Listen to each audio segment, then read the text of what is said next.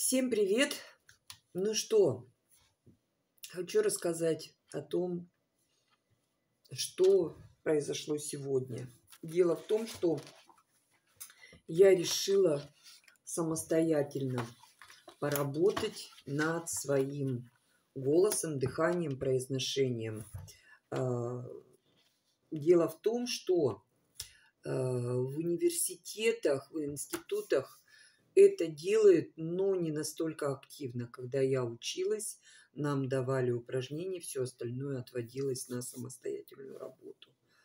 И то у нас была переподготовка, и там это не было предусмотрено. Так вот, я уже несколько дней об этом думала, и с сегодняшнего дня я начала работать.